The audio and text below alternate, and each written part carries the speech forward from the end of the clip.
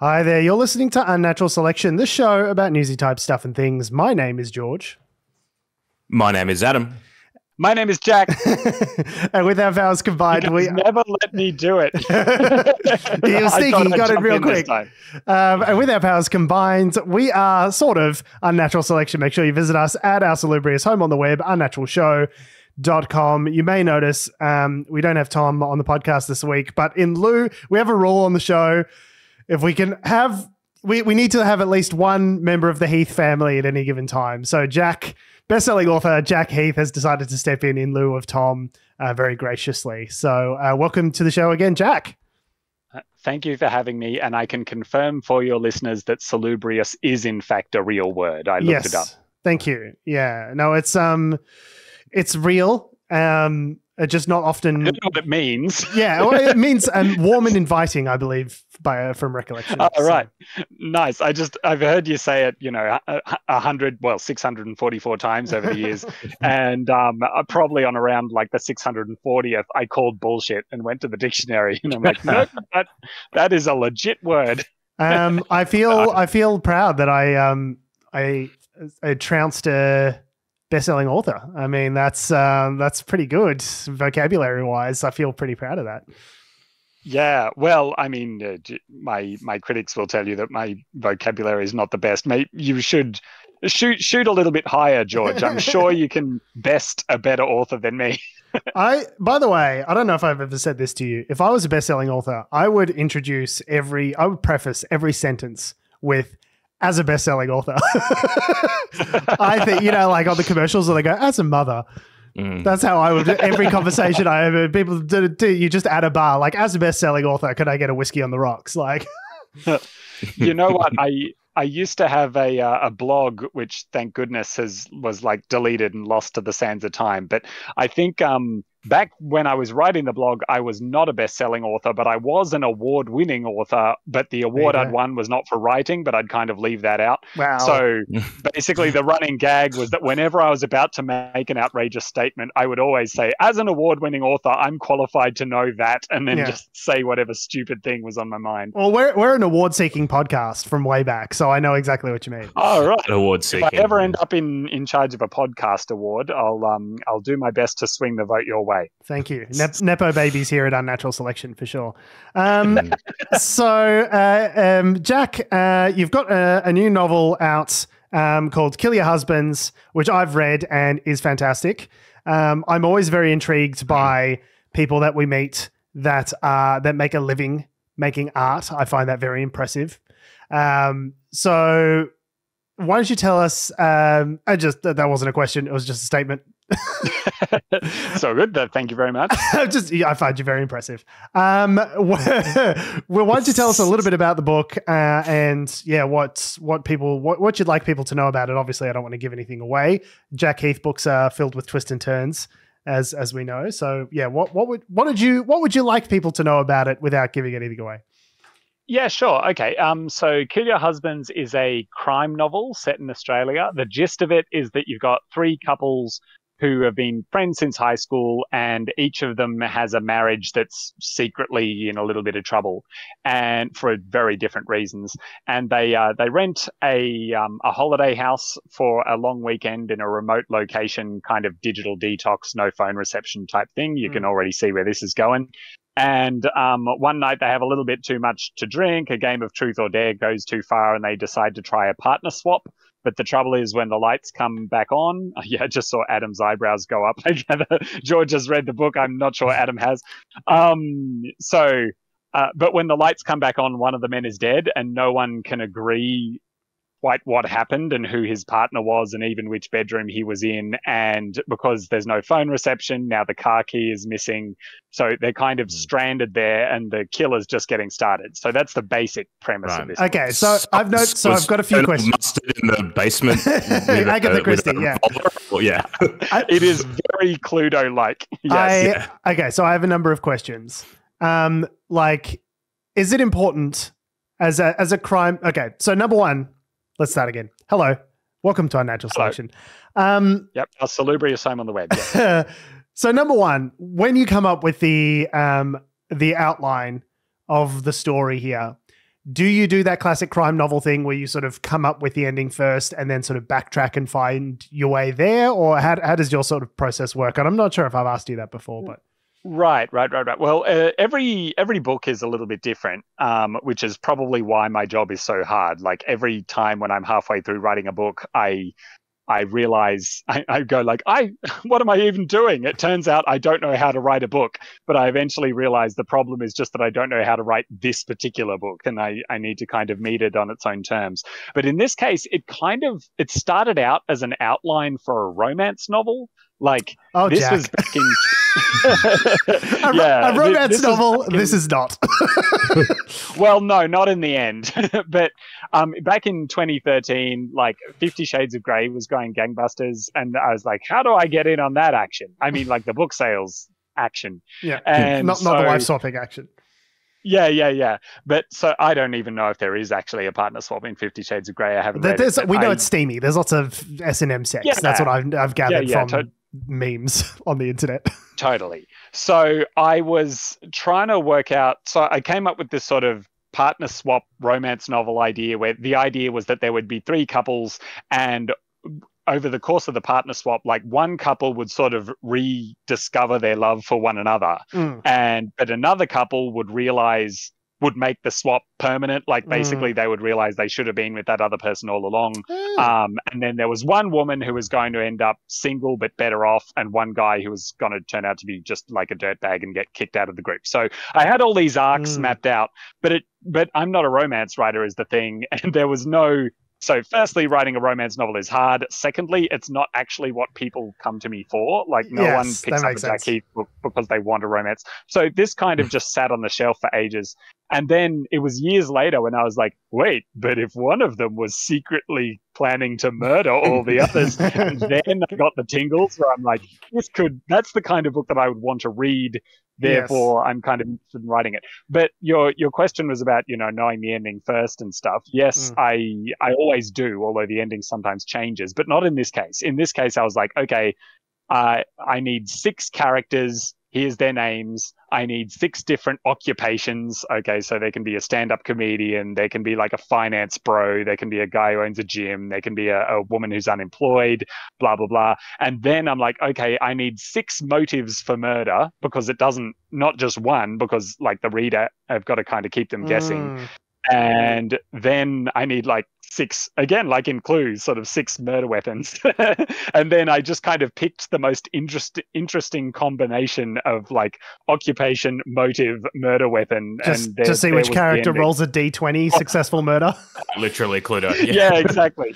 Um totally. yeah that's the super interesting. Part. yeah I, I didn't think about that aspect of it because of course you have to like give every character a motive to keep the audience guessing, right? Because you can't have them like, well, unless you want to write. I mean, there are novels that are like that, crime novels, where it's like you know immediately the outset who did what, and then it's just a case yeah. of like the detective uncovering it, and that's the tension, right? But yeah, so you you need to sort of have plausible motives for each one of the characters, so it's not an immediate giveaway, right? That, that's, that's totally and and when those decoy motives turn out to be decoy motives, you don't want the reader to just feel like tricked or like their time mm. has been wasted. So the discovery of each decoy motive has to lead the reader a little bit closer to the real killer as well, mm. like so they don't feel like they're being led down a series of blind alleys. This was even harder in this book than in any of my previous crime books because I wanted to have you know those um those stories where it turns out the narrator did it like I wanted to oh, yeah, write no, one of that. those, but take it like one step further where you know the narrator did it from the beginning, but you don't know which narrator because there's like six mm. point of view characters. That's uh, that's the sort so, of stuff you can do with a novel. You just can't do with a film or a TV show, right? Like where you you the yeah. character, you the audience have access to the inner workings of a character's mind without necessarily knowing who the character is. Like that's just something you couldn't pull off in, in a TV show, right? Because you have to see the yeah, person. that's right. I, I was talking to um to some TV potential like TV producers about this specifically, and I was saying it, it's tricky because when you're in a novel, for the most part, the reader is inside the character's head looking out, mm. whereas in a um in a film and TV show, to oversimplify a bit, you're outside the character's head looking in and yes. kind of wondering what they're mm. thinking. So that was going to be really difficult. But uh, what I hadn't anticipated was that because these all the the killer was going to be a point of view character, but the the reader wasn't supposed to know which one it was. Mm. That meant that I could never have any of the characters wonder who the killer was because as soon as they wondered that, like the reader would immediately be able to rule them out, and then via a process right, of process elimination, of elimination, you'd work figure out who the killer is. Mm. So I'm like, okay, how how kind of disturbed and what other sort of awful things can I have going on in these people's lives and relationships that mean that while their friends are being picked off one by one, they're not even thinking about it, or they're That's not really even interesting. I didn't. I, I have to say, I mm, didn't pick up on that reading it. Like it because because there was always like as, as a set piece or an action piece where they were focused. Oh, who did that thing?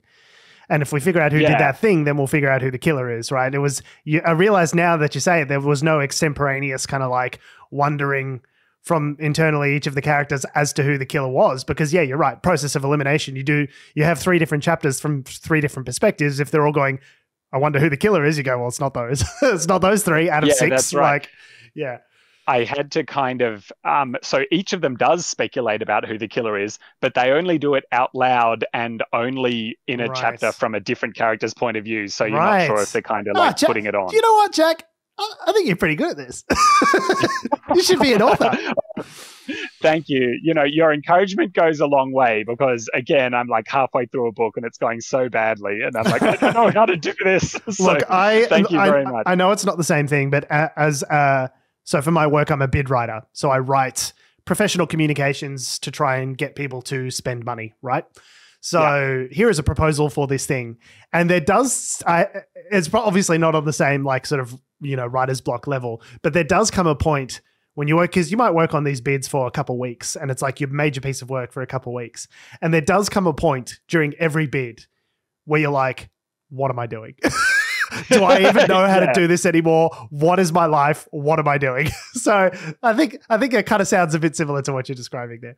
Yeah, I think Mm. Jackie French, who's like a, a really great novelist, I've heard her say that that's how you know it's ready. Like the point at which You you, wanna are kill looking yourself? at the thing. Yeah, yeah, exactly. You're like, I can't even stand the sight of this thing I've been working on anymore. That's when it's ready to to show to someone else. I am um, just back to what you were saying about um, you know, you you are a that's what people expect of you, right? As you sort of gravitate more towards crime novels.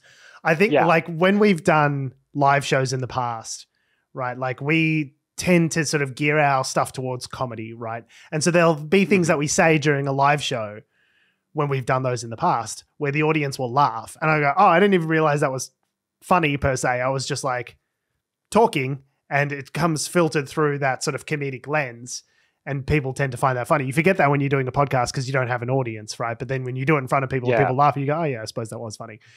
Um, is it the same thing because you're a crime writer, so everything goes through that crime sort of like lens? So it starts as a romance novel and ends up as a crime novel because you're Jack Heath. Like, is that how it works? yeah, I I guess so. There's look, um, like I write for children as well, but can I assume that most of your lis- listeners are probably adults, so I can be like I- a bit crude for a I second? legally, I hope that they are all adults because this is not a PG-13 podcast. I would like to clarify.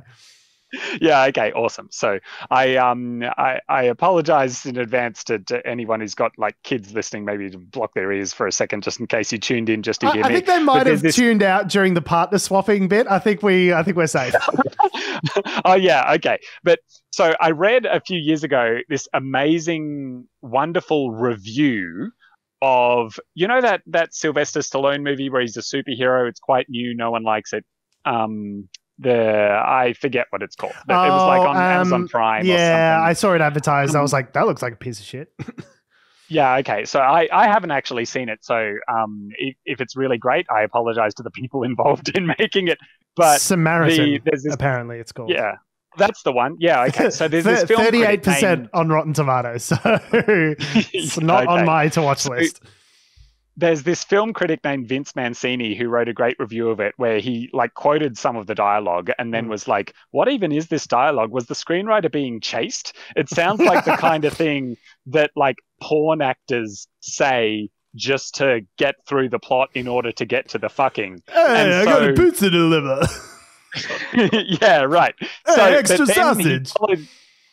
but then he followed it up with something really insightful. He's like, "My question is though, which bit in this movie was supposed to be the fucking? Like, what is what is it that they're trying to get to? And so when I'm writing a story, I often have that thought. I'm like, okay, which bit is the fucking? Like I'm not writing porn, but what is it that the that the reader is actually going to mm. get out of it. Like you could make the same example about musicals, right? Like yes, in, in musicals, sort of the do- plot and dialogue is just an excuse to get to the songs. Yes. So if there were no songs or if the songs were crap, then you've written a crap musical. So yeah. in my case, I'm always going like, okay, what are the bits that the reader is really gonna what? So sometimes it's about asking myself like why am i even interested in telling this story mm. and how do mm. i kind of get to those bits the most efficiently. Mm. And um, so in my case, I feel like what I'm usually trying to get to, what I'm most passionate about, is those moments of realization, the bits where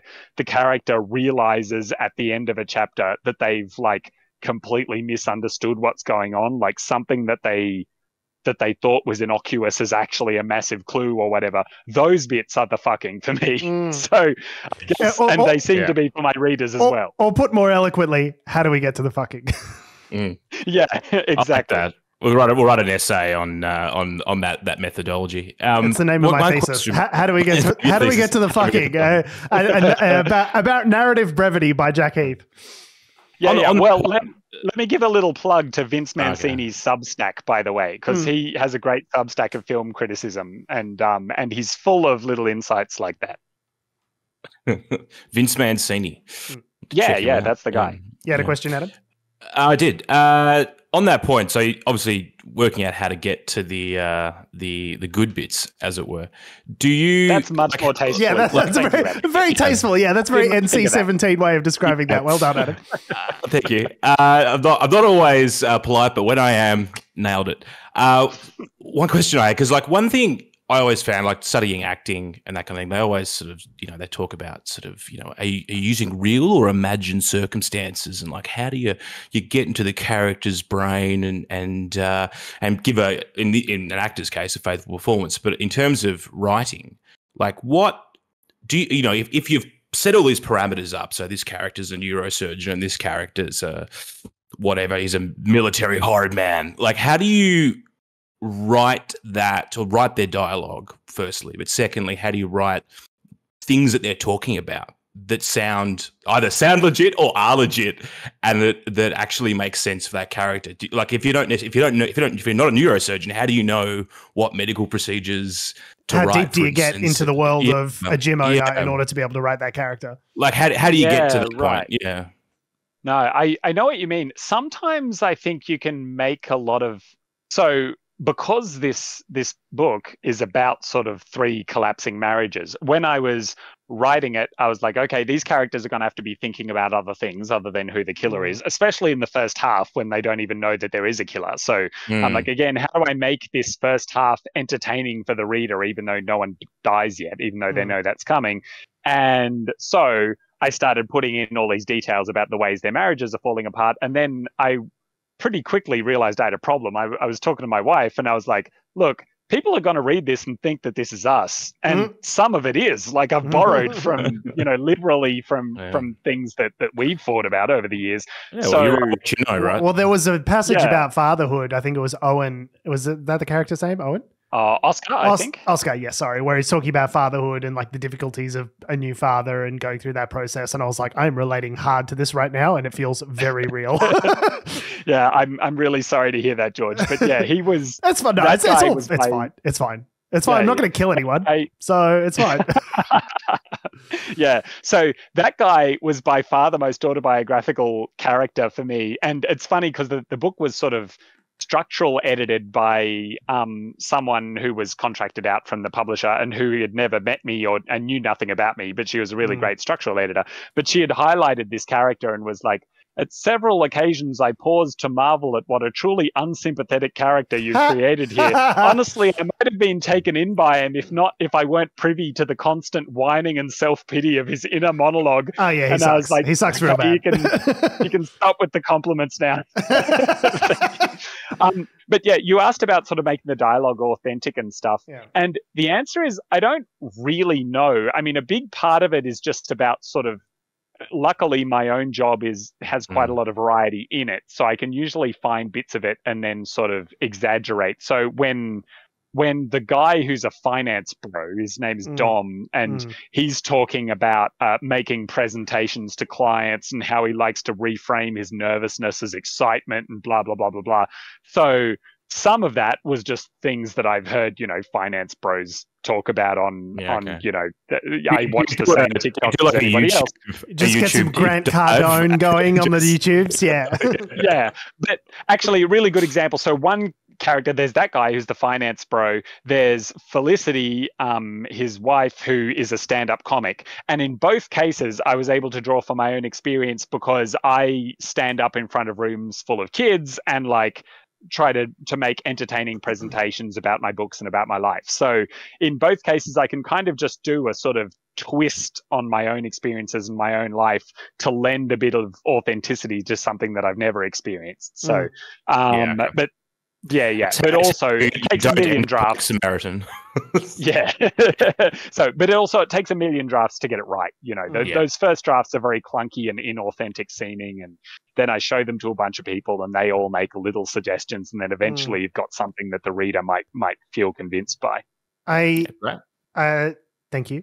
I um I get the impression you think about crime a lot because there's times when characters like I'm reading your uh, just finishing your other one in this series, uh, Kill Your Brother. Oh yeah. Um, and there's points where the character thinks, you know, um, you know, I might, you know, do this. No, I can't do that because she'll think this. You know, there's a little bit of game, sort of game theory happening there as to like what's yeah, go, okay. or what or what the cops will know or what what people will will think of. Um, that sort of your characters having having theory of mind for other characters. Um, and it gives me the impression that you think about crime a lot, or you watch a lot of crime dramas or like Netflix crime documentaries, because because it feels like stepping back. If I think about it, it's like you as the writer are like trying to game out. Okay, well, what would the character think in this scenario? Like, what would how would they get out of this situation, or what would they do? Is that is that the case? Am I reading that correctly, or? Yeah, well, um, yes and no. I mean, the reason that writing takes sort of so much concentration. Like, mm. so, uh, which means things like if I haven't had a good night's sleep, I can't do it. I just like stare, stare at the screen. And you're right. It's because you're not just thinking about what should happen. You're like, okay, what will the reader think based on what the character thinks about what a different character thinks and mm. that's like enough levels of abstraction that you need mm. to kind of not be distracted and be firing on all cylinders to do it which i'm not most of the time but mm-hmm. i don't watch any true crime documentaries i am however constantly committing crimes in my head okay. like, i'm glad you clarified in my head because otherwise yeah. this would have been a very different sort of interview no, for for the record, I'm like law abiding, possibly to a fault. Like I don't even. Ladies and gentlemen, and we other- got him. Shut it down. Rob, this whole 13 years of this podcast has been a very long con to get Jack Heath to admit that he's a criminal. no, uh, I'm the kind of person where, like, you know how sometimes at the lights in the middle of the night, like you're a pedestrian, so you hit the button there's no cars around. Actually, this might be a Canberra thing. So there's like nothing happening. It's dead. The end of the world could have happened. I still wait for the little little man to flash green before uh, I cross the road. He's such a good boy.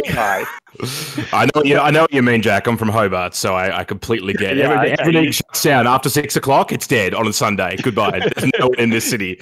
You could shoot a zombie yeah. film here, and, and there wouldn't be uh, wouldn't be a peak of boo. Yeah. Doesn't make any Adelaide sense. But, too. I was I was on tour in Adelaide once, and I like flew in on a Sunday evening and went looking for somewhere to get dinner, and the only place I could find that was open was a mini golf place. uh, everything else was shut. But so the point is though i do love thinking about it. Like uh, my friends and i used to play a game where we'd go like okay if you were wanted by the police for a crime you didn't commit how would you get out of the country? Like that kind of thing. We'd just make and they're like sir this is a wendy's yeah exactly. So um so i don't know everywhere uh, so all those thoughts have to have somewhere to go right? Otherwise they i mean i'd have to become a real criminal. But instead i'm able do, to kind of put it down on the page. Do you think and, you'd be a good um, criminal based on having gamed out some of these scenarios in great detail for millions of I, audience members? I really don't think i would. I mean i'm i'm bad enough at like regular life. And presumably, so if you take the level of difficulty that regular life requires and then add on the difficulty of like trying to get away with something illegal at the same time uh, I, I don't think i could do it i would like immediately accidentally confess to a police officer i happened to walk past on the street when i only intended to say good morning to you sir um I, I'd like mm. to think that I would have been a great criminal prior to like 2001. You know what I mean? Where oh, I was like, yeah. until it like, you know, mobile phones and cell towers and GPS, and I was just like, CCTV. Like, I feel like it's too hard to get away with crimes now. I feel like, like 1987, I would have been a great criminal. But yeah, modern right. day, I just, I just don't know how much you can actually get away with anymore. Like, oh yeah, the good old days. The good old days. you are you leading us to? Is that a nice segue into talking about Trump? Because I feel like he's kind of modern day criminals. um, yeah, I mean, we, we can go there with everything every single time, always. That's a good point. Yeah, I suppose you get to a certain level of fame is where if you do your crimes in public, then it's what people like you for. So, yeah, you can write a book about yeah. all the crimes you committed, and for some reason, it's fine. Yeah. Or rather, you can have a ghostwriter write a book about all what the crimes the, um, you committed. Was it um what was the American footballer again? Um uh, you mean OJ Simpson? With the glove. OJ Simpson wrote the book and it was If I Did It. If I Did It. Like what a piece of shit. Yeah, yeah, totally. Um, you know, there was a, a, Chris Rock Saturday Night Live sketch that like preempted that. Like he was oh, really? talking, he he was showing off all these books, and he hi, he had as a joke like a book by OJ Simpson called I Didn't Do It, but if I did do it, here's how it went down. And then OJ Simpson literally wrote the book. Yeah, oh wow. That's man, OJ Simpson sucks. Um, okay, so well, on that note, um, interview section of the podcast is done. No more book talk. Yeah. That's yeah, it. Yeah, Finished. Your husband's available at all good bookstores and some bad ones. Let's Thank talk you. about some really, really bad people. Um, and your website, Jack, is Oh yeah, jackheathrider.com. I'm on mm. at jackheathrider on all social media, but I've I've decided to take a year off from the socials, so okay, I, I might did... still Okay, I, Your Honor, may I apply? May I approach the bench? I wish to reopen the interview portion of the show. So, just quickly, I saw you had you. Yes, you were very vocal during the voice referendum stuff, and I imagine that's what sort of preceded you wanting to take a bit of a break on social media. Am I interpreting that correctly? Or yeah, yeah, kind. Of, it, it was one of many factors, but yeah. I this must be difficult because I feel like a lot of what you're doing, as well as the writing of the books, is the promotion of the books. Hence, like Correct. You know, being doing things like this, being on podcasts and and social media and things like that.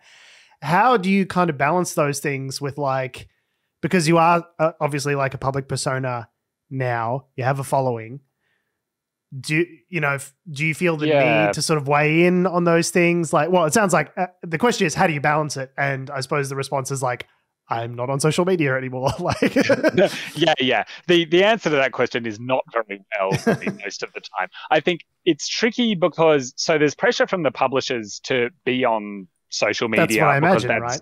Yeah for them it's free.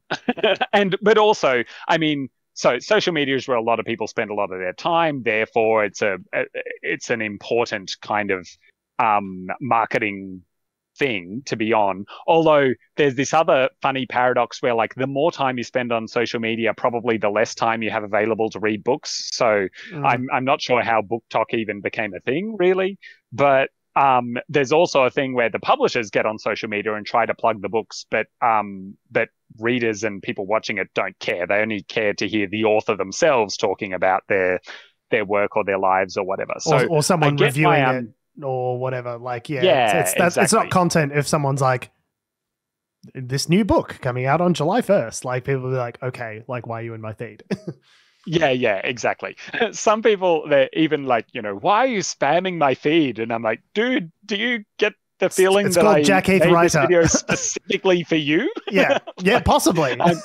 yeah, it's weird, but so usually though, I try to stay out of politics. Like not in my in my life. I, I have my own opinions. I share them with my friends and stuff. But as a as a general rule, um, there's areas most areas that I have like no expertise in. So um, doesn't stop us. I, I kind of well.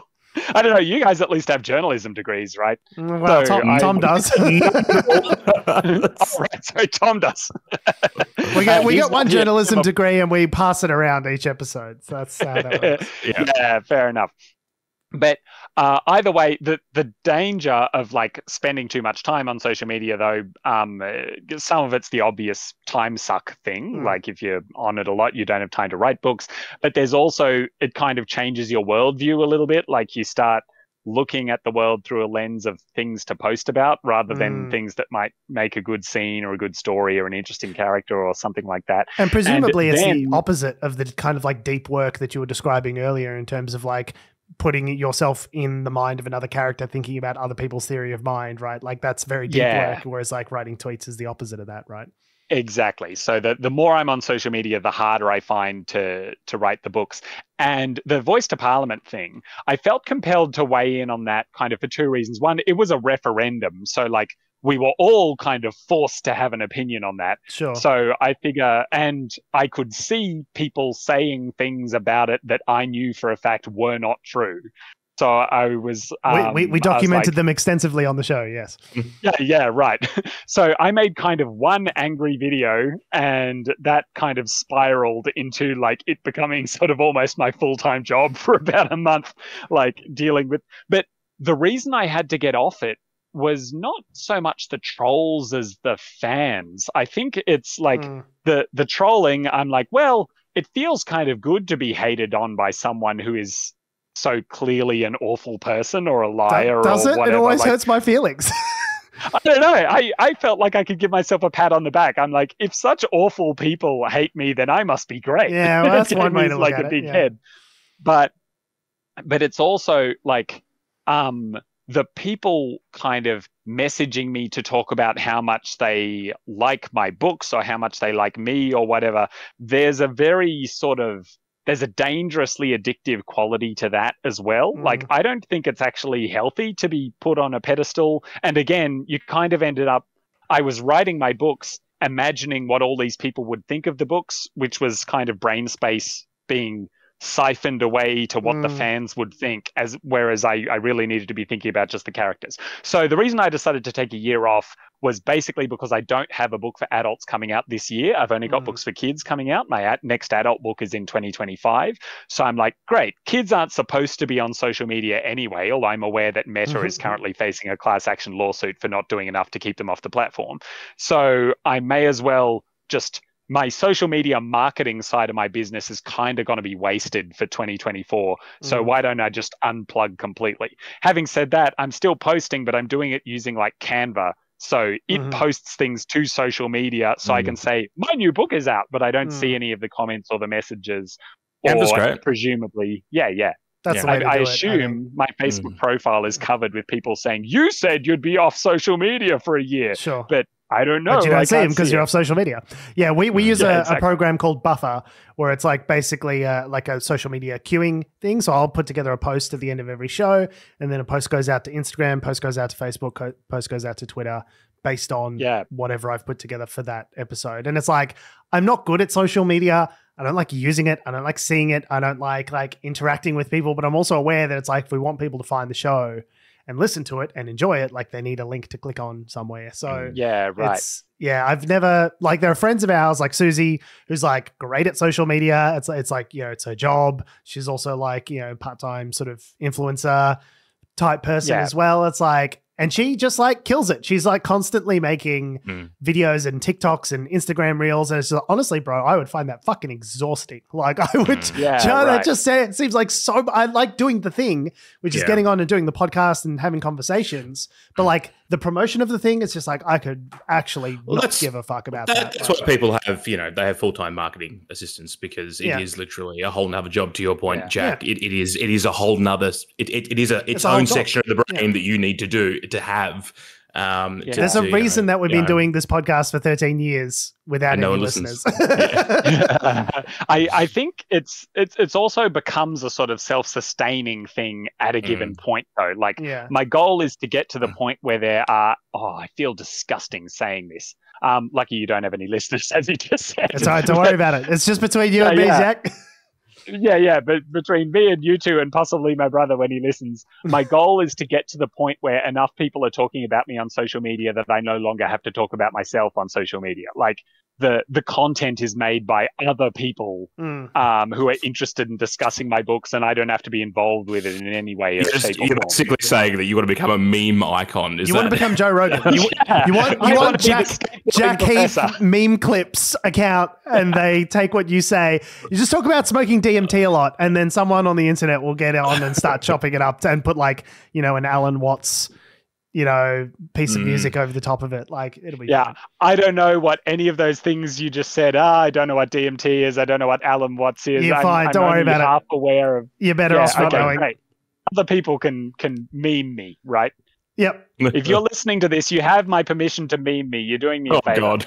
Is, is well, first of all, that's a very dangerous thing you just said. Second of all, I love the difference between millennials and elder millennials. They're just like, feel free to meme me. I'm like, oh god, Jack, no, no, what are you doing? No, Jack, please. Wait, wait, hang on. Let me do like a funny face so people can put a speech No. bubble next to me. No, don't do it. And, that- and that's how people started thinking that Jack Heath was a white nationalist. Um, Oh, that's how they get you. I see what happened. Yep, yep, yep. I, Yep. I made it bad. You know, is is you know all content, good or bad, still good because Mm. it uh, it spreads the the uh, the name and the algorithm uh, Yeah. picks it up certainly- and spreads like wildfire. Yeah, yeah. The the people like the people hating on me after the voice to parliament like raised my profile an enormous amount. I I can't be sure that it sold books, yeah. but That's the fucked up thing know. about it. It's like it's a real reversal of the incentives, right? Because it's, you you think about okay, well, I'm getting lots of engagement, but does engagement actually necessarily mean anything? Does it translate to more followers and translate to more sales, or am I just like, you know, you're just like pissing people off out there Yeah. somewhere in the ether, and everyone's getting real mad about it, and that's why there's lots of engagement? Like, does that turn into fans? I don't know. Like, yeah, and kind of even if it does, I feel like, like, it's is a that bit the way to get them? Yeah, yeah. Mm. yeah. Well, if you ask, um, you know, uh, Andrew Tate, then the answer would be yes. Okay. Oh, don't get me fucking started on that guy. Okay, Yeah, we're slamming the interview portion of the show shut. Bang! Ah, bang. Straight news reportage now. Reportage. So, Speaking of uh, bad bad people, yeah, there we go. So Donald Trump has won the Iowa caucuses um, in a in a not upset. What's the opposite of an upset? A set yeah, a- in a completely predictable set of events. Donald Yeah. Trump has won the Iowa GOP presidential election caucuses um, uh, with uh, uh, around 51% of the vote. So there's two different reads on this at the moment based on the commentary I'm hearing. People saying, like, yep, Donald Trump, you know, didn't give a single fuck and still swept the Iowa caucuses like pretty easily. Like, this shows that he's going to win the nomination handily. And then there's another part of the conversation which is sort of saying, okay, but yes, he's coming in as what should be an incumbent, right? Someone who's had a term of, of the presidency previously.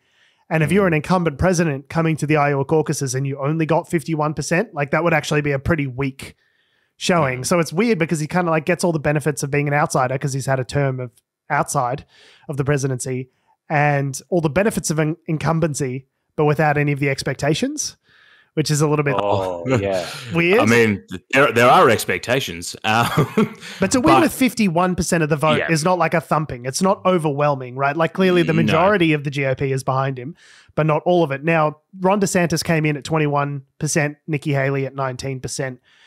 Ron DeSantis is like a it's kind of a Trump without the baggage, right? That was his selling line. So, I, how many Mm. of those voters would just revert back to Trump if DeSantis wasn't in the race? Probably most of them, I think. So, yeah. Hmm. you're only looking at Oh. Nikki Haley being able to coalesce maybe 20, 30% of the party around a Mm. non Trump kind of candidacy, a factional candidate. That's what the New York Times Mm. called her. So, Well, you've got Vivek yeah. Ramaswamy, who's what he had seven point seven percent. he dropped out uh, and he dropped after the out. Iowa caucuses, Yeah. but but he was basically like MAGA number one, peace. And then, um, so I think clearly he wants to be vice president or something like that. He spent the Yeah, whole so campaign sucking up to Trump, basically. So, Yeah, It and he's, rained he's on the day, plenty of right? support So- it. oh, the the weather was, Was- terrible. It was like in the low, Yes, but um, did- in the Was low the 30s or 40s. low as well? It was, yeah. It was something like 110,000, which is like historically I think the lowest since 2012 or Mm. something like that, 2016 maybe. So Mm. it's not Should been. uh, describe as well that, like, for people who may not be familiar with American politics, that Yeah. the Iowa caucus is basically the Republicans getting together and deciding who their presidential yeah, uh, so each party, going to be. yeah, for those who don't know, that's a good point. So each party, the Democrats and the Republicans, will go through a process where they go through each one of the states and vote. The caucuses Hmm. are a little bit weird. They have weird rules, but like a regular primary is just like a straight up election. Which candidate do you want to be your candidate for president? And then at the end of that process, you have a candidate, and then the two candidates from each party go up against each other. So Joe Biden is the presumed candidate for the Democrats, unless he keels over and dies. There's a non zero chance of that at his advanced age. Uh, and Donald Also, Trump. Trump. Yeah, well, he's only like, Like, three he, years younger. He also may keel over and die. Oh, and like side, side sidebar also has 91 pending criminal charges against him and has been struck off Oh, the yeah. ballot in Maine and what was it, Colorado? I think. Colorado. So like, Um, and that's the other interesting part of it is that Yeah. yeah, I mean, and you know, 51 we're- we're percent of people still went. That seems like a great idea. good, good idea. Um, Fifty-six thousand two hundred and sixty votes uh, in this in this Iowa caucus. Now, the Iowa caucus is the first caucus, and there are several other ones, and some of them are combined. They're like Super Tuesday, Yeah. and it's like they get them all. They get a bunch of states together basically, and they do a big one in one hit.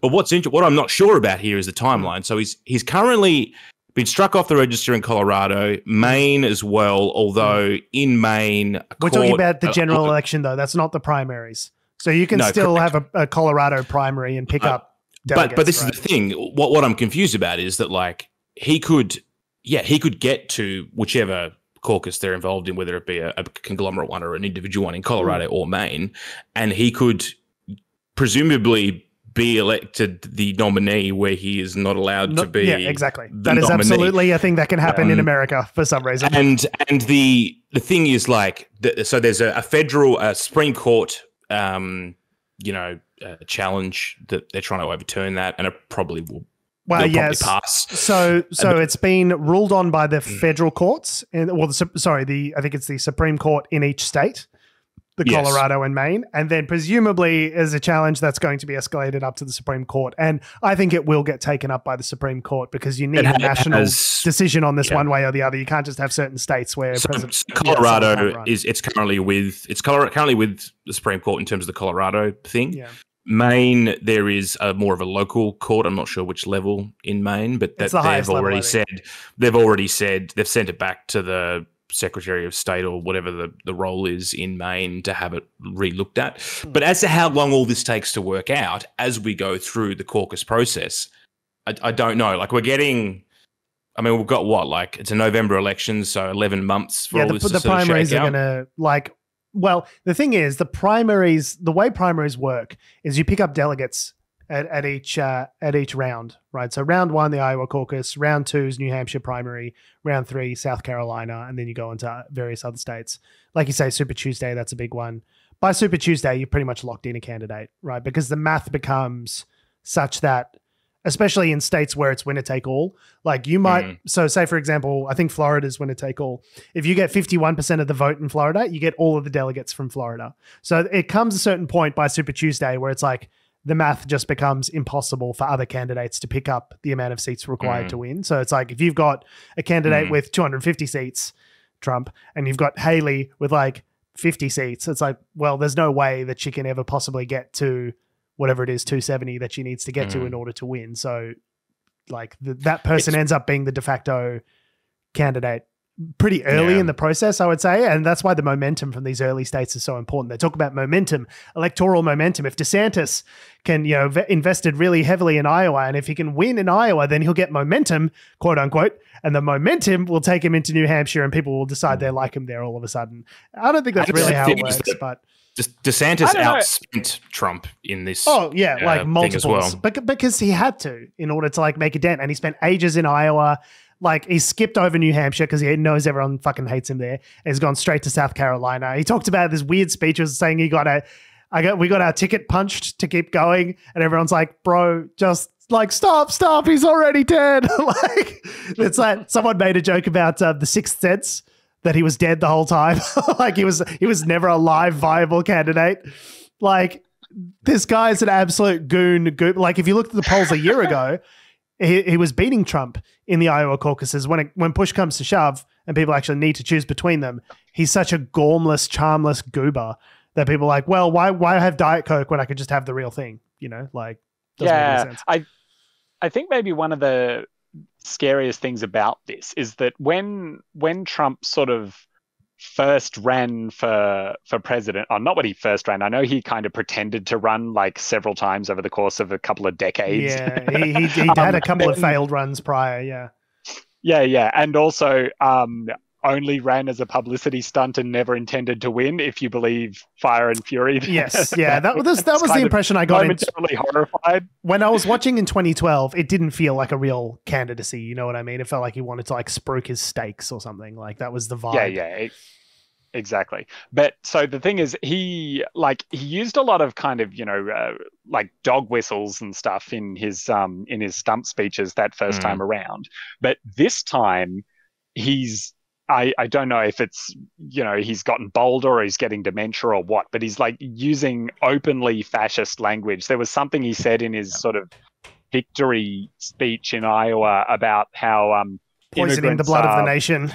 Yeah, poisoning literally a quote from Hitler. Yeah. Yeah, yeah. And I was like, wow, this is real sort of Hitler stuff. And the thing is, whether he wins or doesn't, the fact that there's so many, and I mean, wins the nation or doesn't, wins the presidency or doesn't, mm the the fact that he has so much support, who if you can't put that cat back in the bag, like mm. he's Ron DeSantis, like you said, is just basically Trump again. Although he would argue that he's a more competent Trump, but Trump, Trump a more competent Trump is like still an evil person. Trump, yeah. Trump in heels. So, yeah, I heard. I think it was Jason Pargin who said that like if America is a clown car going off a cliff, Trump isn't the driver; he's the hood ornament. And I think that's exactly right. Like I like that. Yeah, I, yeah. I, yeah, I he's the mascot the fact, for fascism. Yeah, the fact that you've got an incredibly popular fascist candidate is really bad news for the United States However, the oh, it's rest bad. of this year goes Jack, down. Jack Heath yeah. coming in with the hot takes. Fascism is bad. yeah, sorry.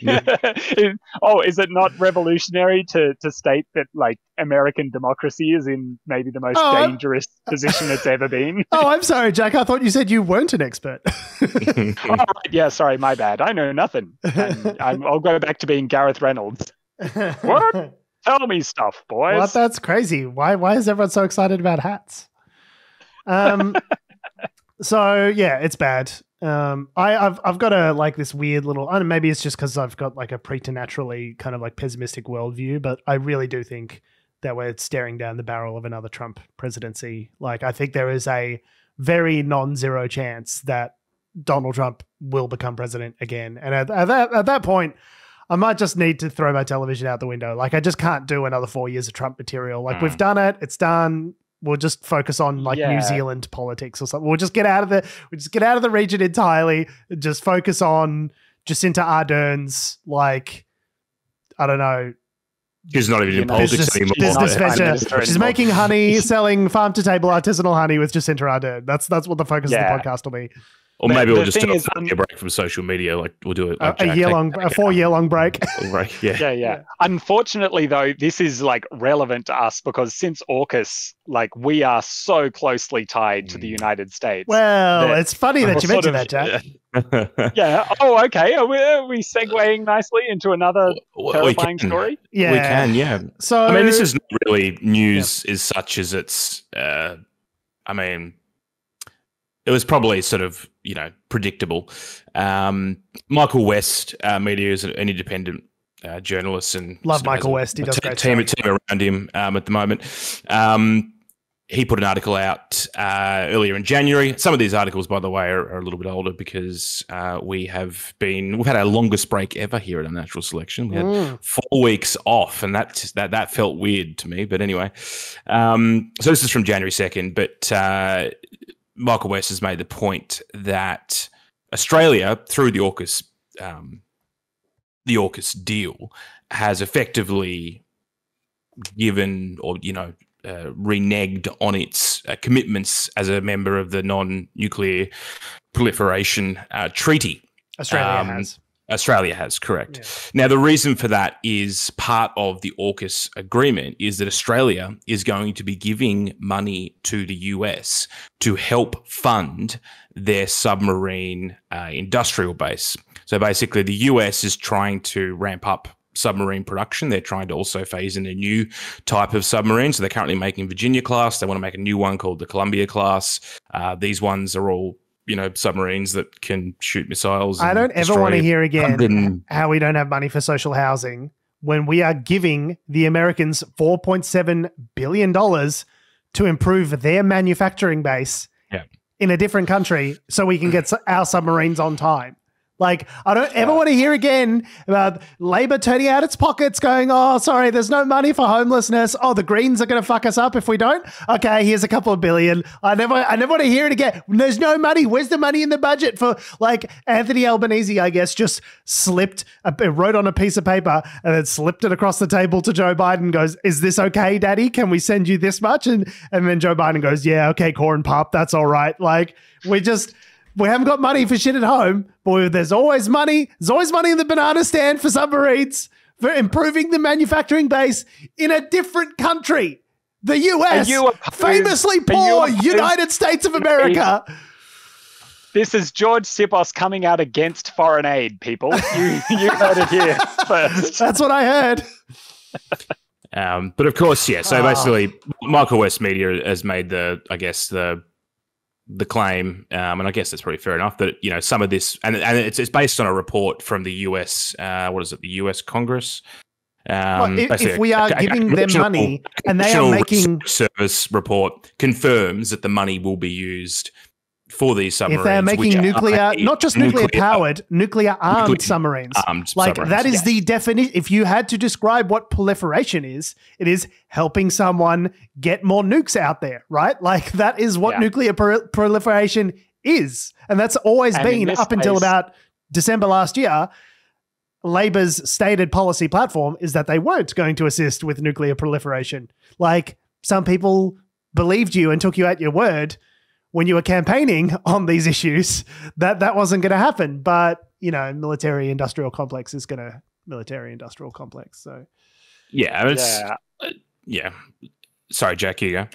I was going to say I did some like back of the envelope calculations because I'm like an incredibly morbid person.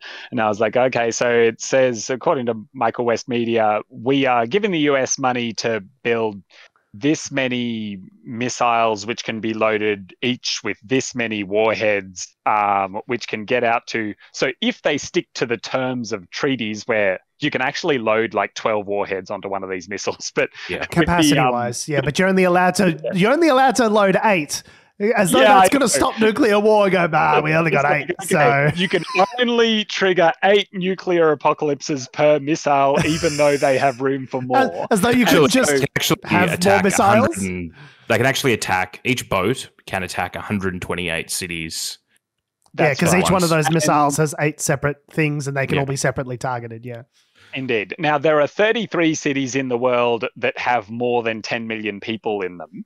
So that's already giving us like the with the amount of money we've just given the USA, we could kill hundreds of millions of people. Like I was just sitting there going, so this isn't like you were saying, Jorge, when instead of like funding social housing or something like that, or just what anything. if we make it possible? Even car parks, just... even corrupt fucking car parks would be better than this. At least corrupt yeah. car parks aren't going to bomb Yemen. Like, yeah, that's right. It's, it's disastrous. And the the thing is that like so nuclear. I remember someone saying like, uh, "Oh, we we shouldn't be worried about nuclear war. We should be worried about climate change." While someone else is arguing, "Oh, we shouldn't be worried about climate change. We should be worrying about nuclear war." And I'm like, guys, this stuff is not mutually exclusive. Guys, we can worry about it all, and where, I do constantly at 3 a.m. in the yeah. morning when I'm trying to get to sleep. and in fact one makes the other more likely like mm. so climate change causes less and less of the planet is habitable which causes more fights over territory and resources which makes mm. nuclear war more likely to happen also nuclear war makes parts of the planets uninhabitable which puts the same strain on resources so yeah world's gone to hell in a handbasket and we are paying for it that's the bit that makes me so mm. mad like uh, my taxes are killing us so bad. So, yeah, and it's it's one of those things where because it's we're giving money to certain parts of the industri- U.S. industrial base. There's enough of a gap there where the government can run semantics through. Yeah, but what are they doing with it? They're not making tiddlywinks. Machine. No.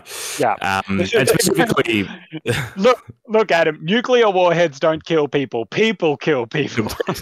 Indeed, like, um, money's fungible, really. Like it's, it's complex, you know. Like it's a really, you know, it's really not. if you give someone money and they use it to create guns, and you know that, and that's why you're giving it to them, and then they get arrested with a bunch of guns, you go, well, well, we didn't know they were uh, like have guns as a result. You know what I mean? Like it's a pretty direct line. It's it's the yeah, yeah right. It's one of those things where it's the the evils of um, weapons um, manufacturing and uh, and uh, buying and selling them as well. Yeah, um, you were there was say, a story in um uh, in 2016, like when it started to become apparent that Trump might actually win, as opposed to sort of just being being the laughing stock of the country. I remember Barack Obama like going on this sort of frantic legislative tour of like because this this huge like all these defense systems he'd um, set up and watched over, you know, drone strikes and stuff like that, he suddenly realized that it might end up in Trump's hands, and he's like, oh, mm. "Oh no, all this, all this power that could be abused is about to end up in the hands of someone who might abuse it." And so the the nuclear warhead stuff, like us funding it, becomes particularly worrying when we know that you know it could well be Trump mm. with his finger on the button, a guy mm. who had to have explained to him five or six times by the the the Secretary of Defense why, why they can't just use nuclear weapons if we have them. Yeah. So, yeah, really bad. Yeah, it's almost as though you know electing someone to the highest office of the land um, requires the having of some sort of character and leadership skills, and maybe you shouldn't just elect a former reality TV host and current future criminal. yes. Yeah, but the the people who the fact that he might end up in prison, it pains me to think that uh, for probably half of the United States, he is basically the Nelson Mandela of America. Oh my God, Jesus Christ! yeah, I know. He's like half of us see him as Hitler, the other half see him as Nelson Mandela, and there's no midpoint between those two people. That that Venn diagram has no mm. overlap. Honestly, a cult. I've, I've watched a, a, a, I do watch a bit of like right wing stuff. Um, because I am do interested you? in military. But I do, do actually. Oh, I didn't know that. I couldn't tell. Uh, because yeah, I mean, I'm interested in military stuff, and uh, there is a bit of a, a Venn, the Venn diagram of right wing and military stuff. Uh, it's a circle. Definitely, it's a circle, just a flat circle. And a lot of a lot of people interesting when they talk about Trump you know, they'll be like, oh, you did this. But then they'll sort of cognitively, they'll be like, oh, well, I'll try and work a way around They'll do some mental gymnastics mm. as to why he's still a good president. They'll be like, well, you know, he wanted to do the right thing, but there were people around him mm. telling him, you know, it's all the people around him telling him the yeah. wrong stuff. Trump's like, hold me back, hold uh, me back. I definitely want to bring yeah. back manufacturing to Ohio. If it were, you know, just like, hold me back, fam. Like, I'm going to go nuts on him. Like, I mean, yeah. the, the real, I mean, the other thing that that's a possibility, not just with, you know, what he may or may not do with military arsenals is that this whole AUKUS deal, which we have already given money towards and we are mm. spending at the moment on, is he could very well turn around and rip this treaty up when he gets into office because uh, it doesn't yeah, necessarily align not, with a US centric policy, right? Yeah, he's not very consistent on a lot of things, but one thing he is consistently against is any form of international cooperation yeah. or and those kinds of treaties with allies. He he has a habit of going like, well, sure, we agreed to this thing, but now that we've got what we wanted from the thing, why would we bother yeah. honoring our side of it? I just don't understand the question. He's and, um, an internationalist in all the ways, in all the worst ways, and a populist like in all the worst ways as well. It's like, uh, sorry, not an internationalist, an isolationist. What did I say? He's he's an isolationist in, in like in, in the worst ways, where it's like, oh, we will, you know, pull out of you know uh, multilateral bodies and you know multilateral agreements and things like that you know the iran nuclear deal and things like that you know all these important sort of agreements he'll pull out of those. But then he'll be like oh soleimani like yeah i'll, I'll bomb that guy. Who cares if it hmm. starts like world war three? Like so he's an isolationist yeah, when it comes to multilateral agreements bad. But when it comes to like bombing some guy and maybe starting a conflict, yeah, that's fine. Yeah, I don't mind getting into an odd war every now and then. Like that's fine. It's like mm. the worst parts of both worlds. He sucks. Yeah, yeah right. And you were talking Adam was talking about, you know, watching some sort of right wing media from time to time and stuff. I, I would like to say on the record that I actually have nothing against conservatives. I actual conservatives. Like conservatives. Like I can yeah, I can read Andrew yeah. Sullivan, who's like a legitimate conservative guy who's not batshit, and be like, ah, I can see why you think that, Andrew Sullivan, person who is sane but a conservative. Like I, I get that. Yeah, I was going to say conservatives are fine. What I hate is liars, and like Bullshit Trump artists. is so uh, Trump isn't even a, a, conservative. Like conservatives care about some things, progressives care about other things. Trump only cares about Trump. Yeah. So like he ended up there's a reason he was like a democrat for a while or a republican for a while he would do whatever it he's, took he's what they like, call a, a popularist mm. leader he's yeah, a popularist right, he does his okay. own thing um, mm. but it just so happens the republican party are the ones willing to throw money behind him um, yeah. The other thing I just want to touch on with this uh, this nuclear stuff is that the other thing that's been revealed recently is that Australia will take nuclear waste uh, from the UK and US as part of this deal. Great, uh, which was previously cool. said that it wasn't probably going to happen. But love taking nuclear waste, famously so. I've um, always said this country should do more recycling, so I'm glad they're making some moves on it. Um, and yeah, uh, I guess the other thing that Michael West sort of hinted at was that there are members of the Labor Party. Um, so while Defence Minister and Prime Minister and other members of the Labor Party are very much like, oh, this is our official policy now, and we love AUKUS, we love the US, we love Britain, and yada yada yada. There are lots of members from the Labor Party who, or no, lots, but there are some at least that are uh, bitter that they have been forced to take this from the former uh, coalition government and sort of run with it uh, mm. because it economically uh, there are a lot of things that don't stack up. Strategically, you could say, you know, are cool submarines cool as a deterrent? Yes. Uh, having them in 30 to 40 years is that worth it probably probably not um, but yeah there are a lot of people that that take uh, you know that, that, are moving around government that may have similar opinions, as it were. Boys with their toys. That's all it is. Indeed. Honestly. Um, and so, nuclear waste a toy? I forget. Well, oh wait, the submarines you, you meant. Yeah. Okay. Yeah. Cool. um, so speaking of the US, um, there've been uh, more strikes against uh, Houthi militia types in Yemen. So mm. um, further escalating the whole Iran-backed conflict. Yeah. So I mean, people have been saying like, "Oh, it's going to escalate into a wider regional conflict," and like, it's already a wider this is regional what's conflict. Happening. Yeah. So, so for um, those who don't know, the Houthis yeah. were saying that um, they they were a former rebel group that now are basically in charge in Yemen, um, and they would, you know, they tried to parts of the country, parts yeah. of the country, and they were bombed to ship by the Saudis, and then that didn't really work out. They kind of gave up on that a couple of years ago, and now they're sort of like semi in charge of the region, well, certainly of the capital at least. And so, yeah. um they've been bombing um, ships passing through the Red Sea headed to the Suez Canal. Now, 12% of the world's trade goes through that canal. And they're saying, oh, well, we're doing this with our solidarity, in solidarity with our brothers in Gaza and, you know, who are obviously being bombed by Israel still. And, uh, and that's their justification now. The US is getting really pissed off because they're hitting US ships and US allied ships and things like that. And so some ships are going south and basically circumnavigating Africa, going around the Cape of Good Hope in order to deliver stuff way, around yeah. the long way in order mm. to get goods through.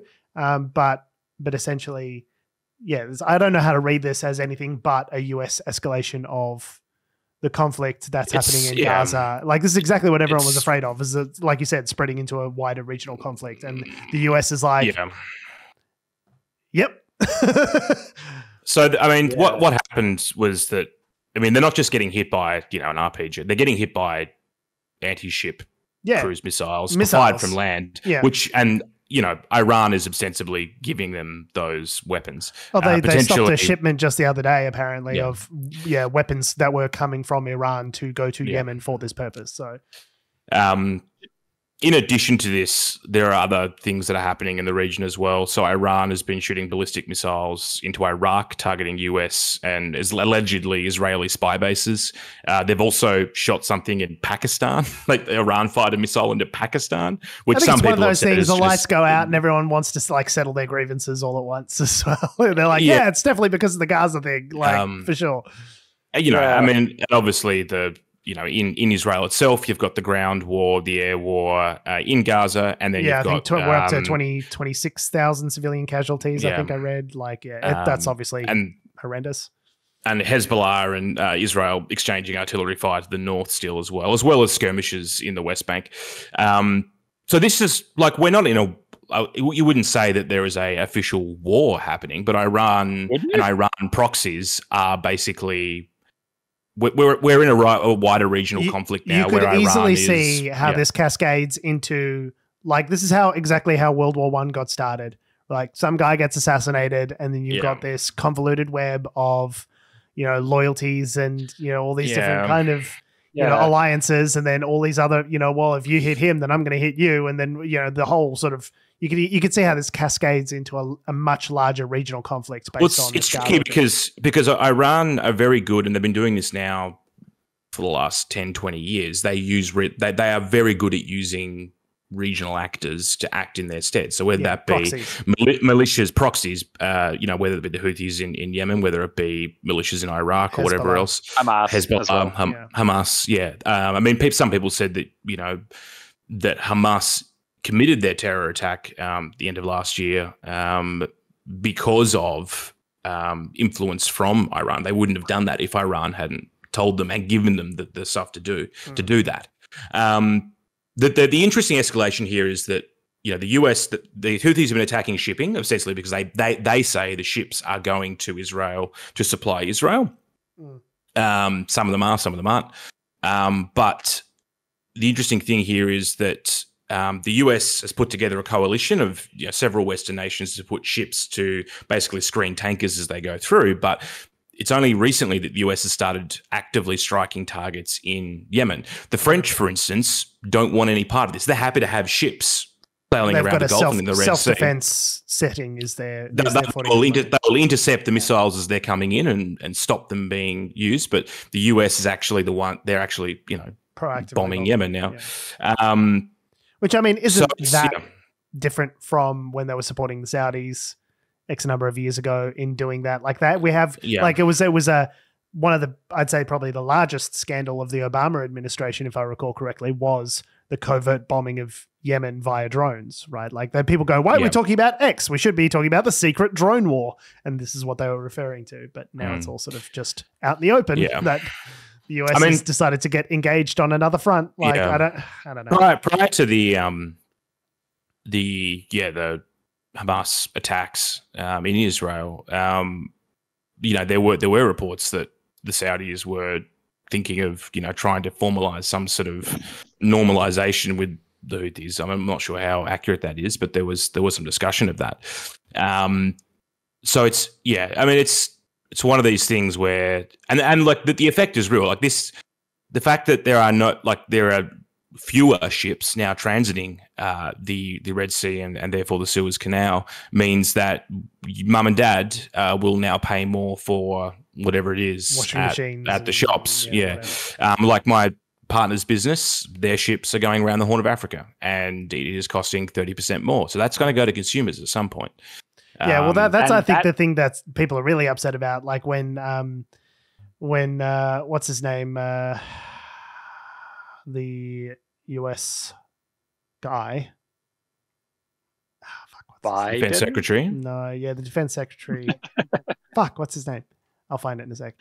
Uh, Jake remember. Sullivan, Secu- National Security Advisor Jake Sullivan, um, said that um, basically uh, quote, uh, allies quote must be quote vigilant against the possibility that in fact rather than heading towards de-escalation we are on a path of escalation that we have to manage is basically like yeah you fucked with our money so like we have to kill you now. Like this is one thing you can't do is fuck with the us's money. Like um jack you've been but, trying to get sorry. in what, what, what do you have to say? oh, no, I, I, I was gonna try to work out so it sounds like you guys follow um politics of the the region, like the geo geopolitics of the Middle East, closer than I do. I just wanted to make sure that I had all this straight. So, um, Iran hates Saudi Arabia, right? That's been going on for decades and decades. Yeah, the different different Yeah. sects of Um, Islam, Sunni and Shia. Yeah. Yeah, yeah, right. So, um, so you've got the the Sunnis in Saudi Arabia and the Shias in Iran, Mm. and the US um, became closely allied with the Saudis because they needed the oil, right? So this goes way back as well. way which is back, why yeah. when a whole bunch of Saudis like did September 11, uh, America sort of invaded Iraq instead of Saudi Arabia because Saudi Arabia were their very very good friends Mm. and but because you've got um uh sort of Saudi Arabia seeing itself as like well literally Mecca for the Sunnis but sort of the the leader of all the Sunnis in the region Iran being sort of the leader of all the Shias and the US being so closely tied to the Saudis is that why Iran hates the United States and would I mean, that's not the only reason why, but that's that's there's there's uh there's other reasons. So um, I think it was Operation Ajax. It was called. Oh, this is when the CIA um, were like trying to sell them fake nuclear weapons, and then they managed to turn it into real nuclear so, weapons. So something like basically, so it's um, yeah. If you Google Operation Ajax, it'll there's lots of information that comes up. But basically, the CIA in 1953 tried to do a, a coup d'état again. Well, did effectively, you know, a, a, coup d'état against the um, Mossadegh, who was the uh, a kind of a, a leftist sort of like almost not quite socialist, but like sort of definitely left leaning type yeah, right. leader. Okay. Mm. that de- then destabilized the region so much that allowed for the you know uh, the the Islamic the- Revolution. the Islamic Revolution yeah, later on in the seventies. So yeah. um, Okay, and I the think overthrow of the was Shah. So like it's a long, Yeah. complicated. Like there's also like a bit of like sort of colonialist history Yeah. in there as well. Like very, Iran Yeah. was very much Iran's wanted to have nuclear weapons for however long, and the US Sure. keeps stopping them and, and sanctioning them. And But- then they killed their general, as Jorge said. this is the other thing. that was bad. Soleimani. Soleimani was like as a national martyr now because of Trump doing that. Um, to the point where, and this like Iran's regional presence is is very active. They're very active in Syria. They're very active in Iraq. To the point where Iraq. Iraq is mostly Shia, but they have a Sunni sort of class like the Baath Party, which ruled hmm. obviously Iraq for so long. But anyway, Yeah. they're gone now. So the the influence of Iran on Iraqi politics is such where now because the US are getting bombed in northern Iraq that the I know presumably there are Iraqis in those bases as well that are probably getting you know hurt or attacked. Um, the Iraqi government is now thinking about ejecting all US forces from Iraq, which obviously the US doesn't want to happen. Um, uh, the US also Yeah. has bases in Syria. Um, so, you know, like the inf- like Iran's they've played it well. Their their influence in the region is um, palpable. And I mean, you know, if, if I was in their shoes, like why would you like it's probably a fair play that they're they're playing power politics and they're doing it, you know, covertly, they're doing it smartly, they're doing it cheaply. Um, you know, Yeah. whereas the US is spending however much money to put bases in different places that are that are vulnerable to missile attacks. Yeah, but it's also the kind of thing where if you if you want to hurt your enemy without getting sort of blowback on yourself, I mean, in this instance, so uh, Iran backs Hamas, um, Hamas attacks um, Israel um, for you know under understandable reasons, having been in, occupied for for so very long, but then because Benjamin Netanyahu is so concerned with his own political survival and not at all concerned with Palestinian lives. He Mm. basically, you know, levels Gaza, kills all these civilians and stuff, but that doesn't hurt Iran at all, right? So No, Iran it plays kind into it plays into they. Iran's This is exactly hands. what Iran wants. Yeah, Yeah. basically, Yeah. is to is to, is to Um, escalate the conflict and turn it into a larger Mm. Muslim world against the United States type narrative, right? Fighting the the West. the West. Yeah. um, and like so far it's working. like Yeah. I, I, to, It's- to, yeah. to be fair to the United States, I don't know like what Jake Sullivan really could say other than like, yeah, if you like bomb our ships going through going through to the Suez Canal, we're gonna bomb you back. Like I don't know what they can do but to escalate. Um, Mm. yeah, but this is this is why conflict is bad, is because conflict always gives rise to other conflict. Like at each stage, we could go back yeah, and go, it's contagious. it's contagious. Like this, you know, this is exactly why the invasion of Iraq in the early 2000s was a terrible fucking idea because you destabilize the region. You know, people get moved around, people get killed, resentments grow and linger. Like it's it's just it, Mm. it's a never ending kind of like panoply of fucking awfulness, which is why we shouldn't like go on engage in uh uninformed, unrequired wars of aggression in the Middle East in the first place. which is what we were saying at the time. But yeah. Well, and that that's what Macron was basically saying, right? He's like, "Hey, we're we're in a kid now." Uh, Like, the, Fre- it's- the French are ones to talk. Okay, let's look at large swathes of Africa. Okay, before we start taking the French at their at their at their word for not being colonialist. Why, Yeah, why, sorry, why do no, they I, speak French in um, Algeria again? Remind me. yeah, I, uh, I I was talking about what Macron said recently, not what what France has done o- Mm. over the, the Yeah, yeah, yeah. decades, Uh, centuries. Yeah, Yeah, but no, Fr- France. Uh, yeah, they're they're they're sort of trying to uh, protect shipping lanes without having to escalate situations. But they, you know, um, uh, France could sit there and do a dance, and it wouldn't matter because at the end of the day, this is really about the US and Israel, effectively. Um, has So, yeah. Biden still not called for a lasting ceasefire? He's So everyone's everyone's back channeling. Everyone's Yeah, trying that's- they're to, but they're publicly saying yeah. that they're back channeling, which I fi- find really interesting as a tactic Yeah. to be like, "Don't worry, guys, like we're back channeling, we've got this." So it's like you know, if you tell everyone that you're back channeling, the back channeling doesn't like because they're trying to save face. They go, "No, no, no, we're telling them in private, like don't." And it's like, okay, but if you tell all us that, like, if you can say it to us in public that you're back channeling, why not just make the call in public? I, th- I think they've got a lot of. I, I think people really overestimate the amount of influence that the US administration actually has in Israel. Like you go, well, they you know, they're funding it, they're sending all this money and all these weapons, they could cut that off. And yes, they could. But like that doesn't mean that between Bibi Netanyahu and Joe Biden, like Joe Biden could just say stop the war tomorrow and he's No. going to. Like I don't think that's the, The- case. the- like Net- Netanyahu's out on out on a yeah. limb here. He's he's doing whatever he wants, right?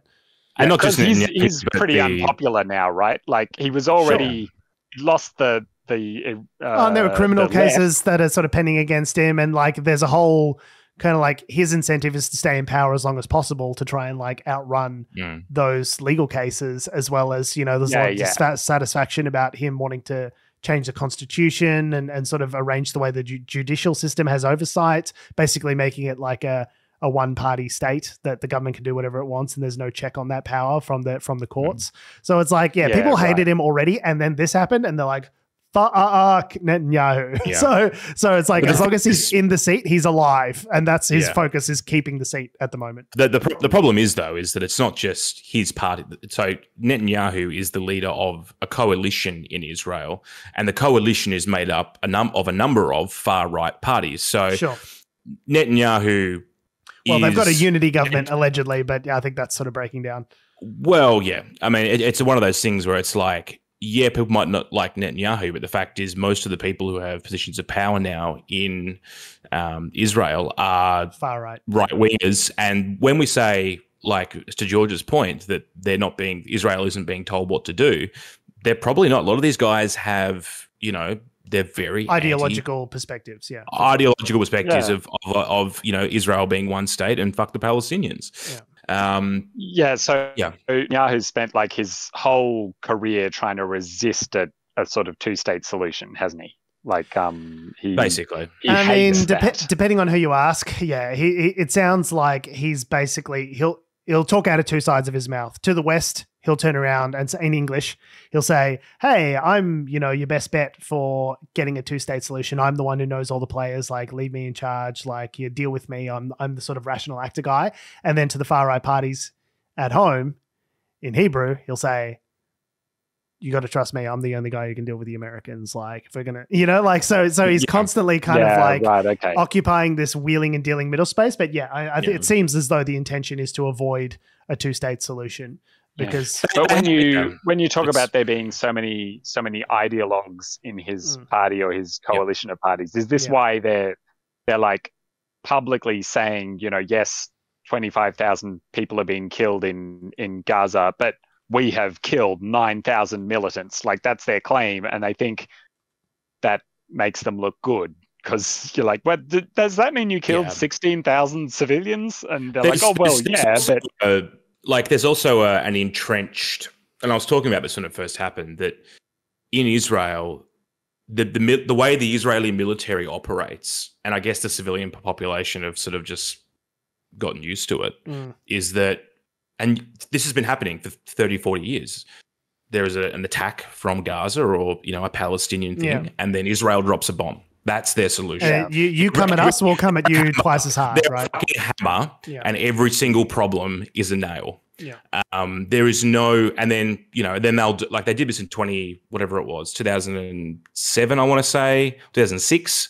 Uh, there was, a, I think, 2014. There was a similar situation, although and, not and which, bad. like, to, to be fair to Israel, yeah. like you can't just put up with suicide bombers and people bombing your country no, and just like do nothing I, about it. Like I, I am sympathetic to the idea that you you, you have you, you, are surrounded by enemies dropping bombs on. Yeah, them, yeah. Like, you're surrounded by enemies who want to kill you and literally say things like push you into the sea, right? Like so I'm sympathetic yeah. to the idea of defending yourself, but I think where everyone agree more or less everyone agrees is that Israel's campaign over the last whatever it is 4 months now uh, has been reckless to, to to to put the most charitable interpretation of it has been reckless to civilians who are being killed in their tens of yeah. thousands at this point. So it's, it's, you, you yeah, can't like I'm all for getting rid of Hamas and Polar Knights who's commenting in the chat saying um, you know Israel can't leave Hamas in power. Like I agree, bad guys don't want to go yeah. to a Hamas house party. Um, there's, there's like obviously they this. can't be in charge anymore after what's happened. They need to get rid of them. But the scale of the human misery and mm. that's been created as a result of Israel's careless bombing campaign. let's put so let's put yeah. the most charitable spin on it possible and say careless. Um, has resulted in the deaths of tens of thousands of people. Like whether or not it's a genocide, like there's uh, South Africa made a claim about that recently to the International Criminal whatever Court of Justice. Yeah, I, I like that's for you know lawyers to work out it is most certainly what they're doing is war crimes. It is uh, like we yeah. can absolutely d- describe it as indiscriminate, yeah. right? Just like the terrorist attacks from Hamas were indiscriminate and war crimes, what Israel is now doing to the populace in Gaza is the same, right? So yeah. But that, what my point being is that tactically speaking, they've been doing the same thing for 30 years and nothing has changed. But and I feel like they've sort of convinced themselves that this is the best way to like to do it. But like if you want to de-radicalize people, it's not, dropping bombs. Not the way to do it. So, so, but, but like for some reason they've got in their heads that this is the only way forward. It's like they've. But if you look at the tunnel, figures tunnel that they've got, like the, their current minister of national security is Itamar Ben Gvir, who like is a famous like I, I don't even like far right. I doesn't quite begin to describe this guy. Like he, you know, there was a story, an anecdote about him having a picture in his office of um like a a mass murderer you know, and like you know, sort of revering this guy for for killing Palestinians, right? Like these aren't. It's not like oh, there's the left of politics who want you know higher taxes and the right of mm. politics who wants lower taxes. They're like literally making statements talking about how we you know how they need to wipe Palestine off the face of the earth, sort of thing. Yeah. So it's like yeah, it's not it's not a mm. it's not good, and this no. is exactly who yeah. Netanyahu's in bed with, right? So yeah, he's the least objectionable part of his. coalition, if you can believe that, right? So yeah, right. You've got kind of one one con man surrounded by Ben Roberts-Smith types, sort of. I couldn't I mean, possibly yeah. comment on Ben Roberts-Smith. well, who who among us could?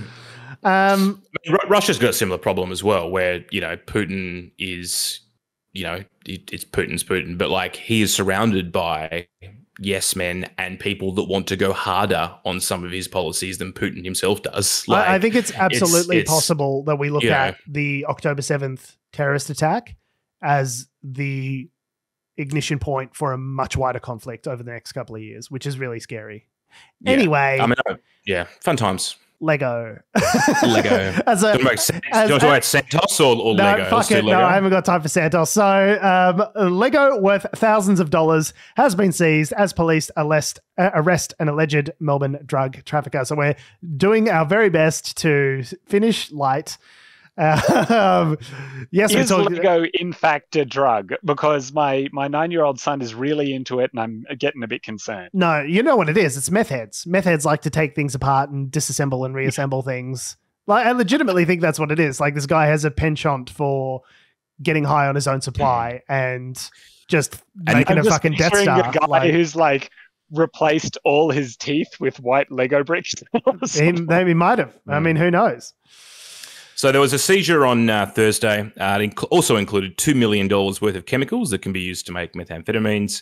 Uh, and they took uh, um, 74 toy sets uh, from the drug trafficker's house uh, because these are allegedly proceeds of crime.